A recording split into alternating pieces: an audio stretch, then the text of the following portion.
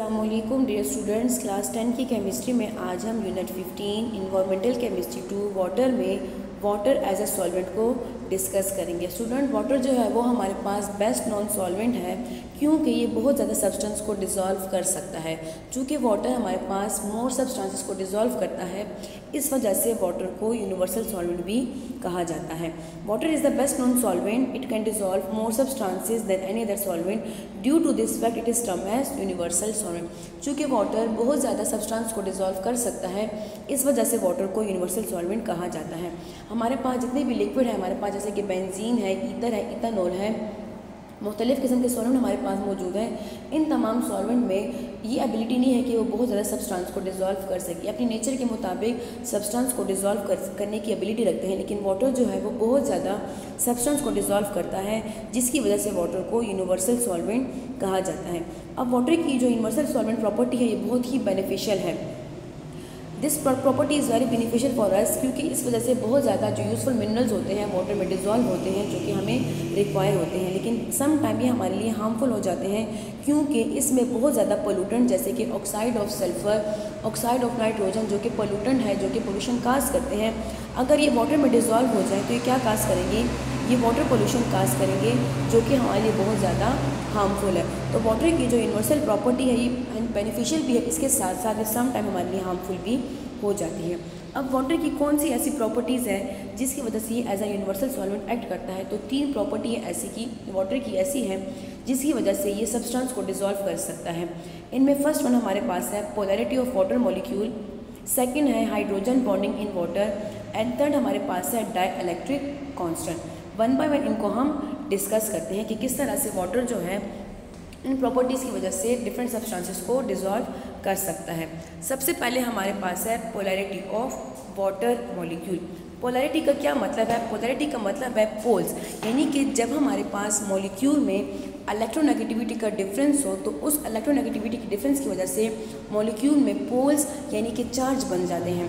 Positive और negative charges की वजह से उस मॉलिक्यूल को पोलर मॉलिक्यूल कहा जाता है। अगर हमारे पास मॉलिक्यूल में इलेक्ट्रोनेगेटिविटी का डिफरेंस ना हो, यानी कि वहाँ पे चार्जेस डेवलप ना हो तो due to absence of charges उन मॉलिक्यूल को नॉन पोलर कहा जाता है, यानी कि उन पर कोई चार्जेस नहीं होते। अब हमारे पास वाटर मॉलिक्यूल पोलर क्यों है? वाटर मॉलिक्यूल पोलर है क्योंकि हमारे पास बना है ऑक्सीजन एंड हाइड्रोजन से।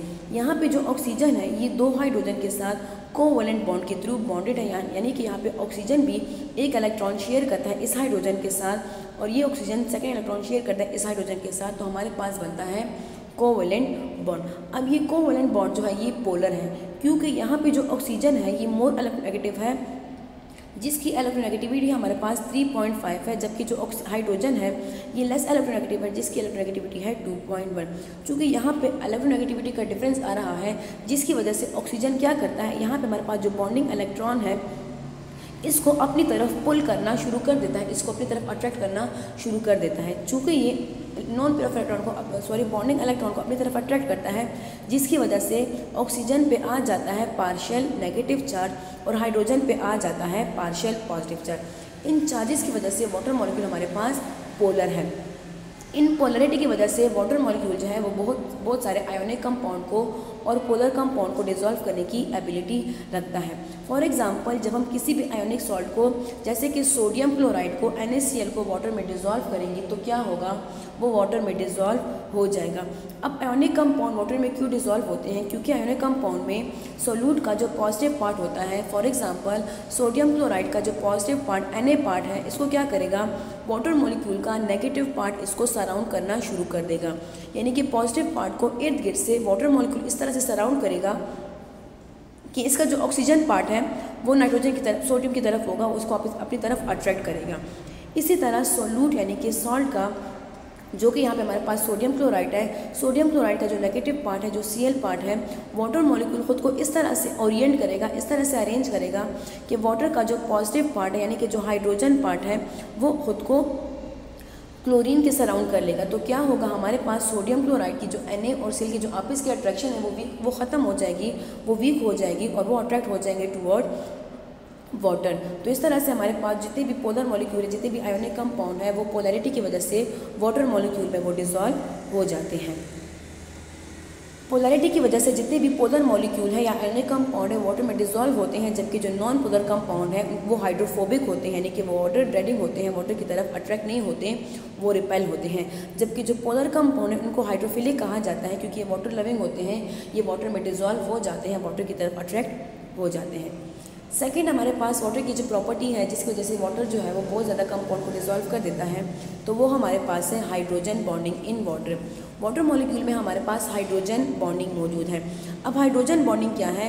हाइड्रोजन बॉन्डिंग हमारे पास कोवलेंट बॉन्ड है. जब हाइड्रोजन एटम पीरियोडिक टेबल के इलेक्ट्रोनेगेटिव एलिमेंट जो कि ऑक्सीजन नाइट्रोजन और फ्लोरीन है, जब हाइड्रोजन इन तीन एलिमेंट के में से किसी एक के साथ भी बॉन्डेड होगा तो उस टाइप ऑफ़ कोवलेंट बॉन्ड को कहा जाएगा हाइड्रोजन बॉन्डिंग आप सब जानते हैं कि वाटर मॉलिक्यूल जो है वो कंपोज हुआ है ऑक्सीजन एंड हाइड्रोजन आइटम से। The hydrogen on one end of the water molecule is partial positive charge while the oxygen is partial negative charge because of the presence of two non bonding electron lone pair of electron on oxygen water molecule form four hydrogen bond with other water molecule students यहाँ पे oxygen की बात कर रहे हैं कि oxygen में हमारे पास लॉन पेयर ऑफ़ इलेक्ट्रॉन है। लोन पेयर ऑफ़ इलेक्ट्रॉन क्या होते हैं? वो इलेक्ट्रॉन जो कि बॉन्डिंग में पार्टिसिपेट नहीं करते। क्योंकि यहाँ पे जो ऑक्सीजन है, ये ग्रुप सिक्स से बिलोंग करता है। यहाँ पे इसके पहले छल में सिक्स इलेक्ट्रॉन है। इन सिक्स इलेक्ट्रॉन में दो इलेक्ट्रॉन इस हाइड्रोजन के साथ बॉन्ड बनाने में यूटिलाइज होकर जबकि यहाँ पे हमारे पास फोर इलेक्ट्रॉन है। यहाँ पे दो इलेक्ट्रॉन पेयर हैं। उन इलेक्ट्रॉन पेयर को, क्योंकि वो बॉन्डिंग में पार्टिसिपेट नहीं करते, उसको कहा जाता है लॉन पेयर ऑफ़ इलेक्ट्रॉन ये ऑक्सीजन की जो लॉन पेयर ऑफ़ इलेक्ट्रॉन है, इसकी एबिलिटी है कि ये इर्द गिर्द मौजूद हाइड्रोजन वाटर मॉलिक्यूल के साथ वो हाइड्रोजन बॉन्डिंग बना लेता है। तो इस वाटर मॉलिक्यूल में ऑक्सीजन की जो लॉन पेयर ऑफ़ इलेक्ट्रॉन मौजूद है, इसकी वजह से वाटर मॉलिक्यूल के, एक वाटर मॉलिक्यूल क्या करता है, वो इर्द गिर्द सराउंडिंग में मौजूद फोर हाइड्रोजन के साथ अरेंज हो जाता है हाइड्रोजन बॉन्डिंग के थ्रू और इस तरह हमारे पास जो वाटर मॉलिक्यूल है, वो टेट्राहेड्रल स्ट्रक्चर में अरेंज होता है। टेट्रा का मतलब है फोर यानी कि इसका टेट्राहेड्रल स्ट्रक्चर है, इसके फोर कॉर्नर है। तो हाइड्रोजन बॉन्डिंग की वजह से वाटर मॉलिक्यूल क्या करता है, वो आपस में बॉन्डिंग करता है। और वो टेट्राहाइड्रल स्ट्रक्चर में अरेंज हो जाता है। अब इस हाइड्रोजन बॉन्डिंग की वजह से चूँकि वाटर में भी हाइड्रोजन बॉन्डिंग मौजूद है और इसके अलावा ऐसे मॉलिक्यूल ऐसे पोलर मॉलिक्यूल जिनमें हाइड्रोजन बॉन्डिंग मौजूद हो, वो क्या करते हैं? वाटर में डिसॉल्व हो सकते हैं। The presence of hydrogen bonding between molecule of a substance indicate that the molecules are polar अगर हमारे पास किसी भी मॉलिक्यूल में हाइड्रोजन बॉन्डिंग मौजूद हो तो इसका मतलब होता है वो पोलर है। जैसे कि हमारे पास एग्जांपल है एन एच थ्री अमोनिया हमारे पास क्या है? थ्री है। इसमें नाइट्रोजन पे मौजूद है, दो लॉन पेयर ऑफ़ इलेक्ट्रॉन तो ये नाइट्रोजन क्या कर सकते किसी भी हाइड्रोजन किसी भी दूसरे एलिमेंट के हाइड्रोजन बॉन्डिंग के थ्रू बॉन्ड बना सकता है। इसी तरह हमारे पास ये पोलर है क्योंकि यहाँ पे नाइट्रोजन पे है पार्शियल नेगेटिव चार्ज और हाइड्रोजन पे है पार्शियल पॉजिटिव चार्ज तो हमारे पास इन पोल्स की वजह से वाटर ये पोलर मॉलिक्यूल जो है वाटर मॉलिक्यूल में डिजॉल्व हो सकता है। कुछ हमारे पास एग्ज़ाम्पल है पोलर मॉलिक्यूल की जिनमें हाइड्रोजन बॉन्ड मौजूद है। उनमें हमारे पास ammonia and methanol C H three O H ethanol मौजूद है। पोलरिटी की वजह से ये मॉलिक्यूल जो है वाटर में डिजॉल्व हो जाते हैं। नेक्स्ट हमारे पास वाटर की जो प्रॉपर्टी है, जिसकी वजह से ये सोलूट को डिजोल्व कर सकता है, वो हमारे पास है डाई इलेक्ट्रिक कॉन्सटेंट किसी भी सॉल्वेंट का डाई इलेक्ट्रिक कॉन्सटेंट जितना ज़्यादा होगा, उतनी ज़्यादा उसकी सॉलिबिलिटी पावर ज़्यादा होगी। अगर किसी मॉलिक्यूल का डाई इलेक्ट्रिक कॉन्सटेंट कम है तो वो मॉलिक्यूल को डिजोल्व सोलूट को डिजोल्व नहीं कर पाएगा। अब डाइलेक्ट्रिक कांस्टेंट क्या है? It is based on the Coulomb law which can define which can be define as the force of attraction between two oppositely charge bodies that is X and Y is directly proportion to the product and inversely proportion to the square of the distance between them यानी कि हमारे पास दो charge bodies होती हैं, इनमें जो force of attraction होती है, वो डायरेक्टली प्रोपोर्शन होती हैं लेकिन इनवर्सली रिलेटेड होती है अपने डिस्टेंस के लिए जितना डिस्टेंस ज़्यादा होगा, उतनी में फोर्स ऑफ़ अट्रैक्शन कम होगी। इनको हम मैथमेटिकली लिख सकते हैं F is proportional to X Y by R square जब हम प्रोपोर्शनलिटी का साइन हटाएँगे, यहाँ पे कांस्टेंट आएँगे, ये कांस्टेंट हमारे पास वन बाई डी है, जो इसको कहते हैं dielectric constant D is the proportionality constant and is called the dielectric constant of water water has the high dielectric constant of 80 at 18 degree centigrade 18 degree centigrade पे water की जो black electro constant है, वो हमारे पास 80 degree centigrade है, जो कि temperature increase करने के साथ इंक्रीज भी होती है. The positive and negative ion of the polar salt dissolve in water will have less force production and would remain soluble हमारे पास जो आयोनिक कंपाउंड होते हैं, जब वो वाटर में डिजॉल्व होते हैं, उनका डाइलेक्ट्रिक कांस्टेंट कम होता है वाटर का ज़्यादा होता है, इसीलिए वो आसानी के साथ वाटर में डिजॉल्व हो जाते हैं और वो आइंस की फॉर्म यानी कि सॉल्युबल फॉर्म में ही रहते हैं।